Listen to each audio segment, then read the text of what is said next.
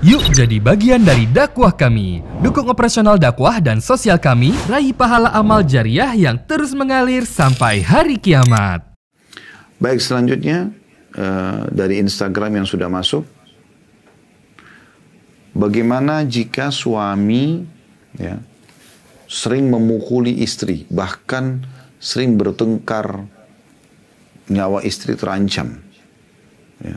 Allahul musta'an. Allah tempat kita meminta perlindungan. Ini perbuatan yang keliru sekali. Ini sangat keliru dari seorang suami. Nggak boleh dia lakukan. Kenapa dia harus mengancam nyawa istrinya? Anda menikahi istri Anda ini bukan untuk disiksa di rumah. Anda menikah dengan istri Anda untuk Anda bahagiakan dia. Ya, untuk Anda menikmati masa-masa indah bersama dia. Interaksi biologis, ya Eh, saling berkasih sayang, makan bersama. Kenapa harus diancam? Ya, kalau Anda memang sudah rasa tidak cocok dengan istri Anda, ceraikan saja. Anda tinggalkan anak orang, tidak usah disiksa gitu. Nah, ini tidak boleh dalam Islam. Sama sekali tidak boleh. Ya. Nabi SAW membolehkan suami memukul dalam keadaan tertentu saja. Sesuai dengan firman Allah SWT dalam surah An-Nisa A'udzu billahi minasyaitonir rajim wallati takhafuna nusyudahunna fa'idhuhun. Dan para wanita yang kalian khawatir nusyudnya. Nusyud ini pembangkangan agama. Nggak mau jalankan kewajibannya. Fa'idhuhun. Ingatkan dulu mereka baik-baik. Ini nggak boleh Islam larang loh. Kau harus jalankan kewajiban sebagai istri. Tutup aurat misalnya, layani suami dan segala macam. Kalau dia tolak, wahjuruhun. Boykot mereka diranjang. Ya. Dan kata Nabi SAW, wala tahjur illa fil bait. Dan jangan pernah kau memboikot istrimu.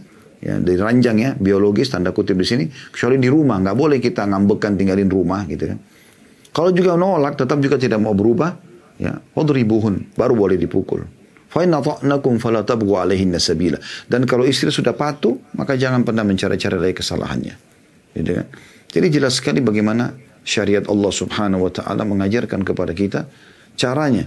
Tapi kalau ada suami yang membuat istrinya sampai traumatis, sampai rasanya uh, kalau suami keluar dia gembira sekali, ya istri gembira, merasa kayak lepas dari sebuah penjara, ya, atau kalau suaminya safar, tapi kalau suaminya pulang seperti seakan-akan ada sosok uh, bajingan besar yang akan datang ke rumah, yang pasti akan mukul, pasti akan kasar, maka ini uh, kerusakan dalam rumah tangga sama sekali tidak pernah Islam mengajarkan seperti ini ya dan saran kami Allah alam segera ibu penanya ini menangani masalah ini dengan cara uh, melibatkan keluarga dia ya agar menasihati.